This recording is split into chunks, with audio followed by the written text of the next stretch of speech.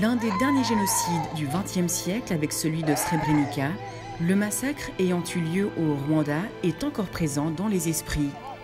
Le génocide rwandais s'est déroulé du 6 avril au 4 juillet 1994. Environ 800 000 personnes, principalement de la tribu Tutsi, ont été massacrées. Qu'en est-il du rôle de la France? Selon un rapport rendu par une commission d'historiens en 2021, la France est demeurée aveugle face à la préparation du génocide et porte des responsabilités lourdes et accablantes dans la tragédie. La commission insiste sur la relation forte, personnelle et directe du président français de l'époque, François Mitterrand, avec son homologue rwandais, Abiyarimana. Cette relation était doublée d'une obsession de faire du Rwanda un territoire de défense de la francophonie face aux rebelles Tutsis réfugiés en Ouganda justifiant la livraison en quantité considérable d'armes et de munitions au régime d'Abiyarimana, tout comme l'implication très grande des militaires français dans la formation des forces armées rwandaises gouvernementales.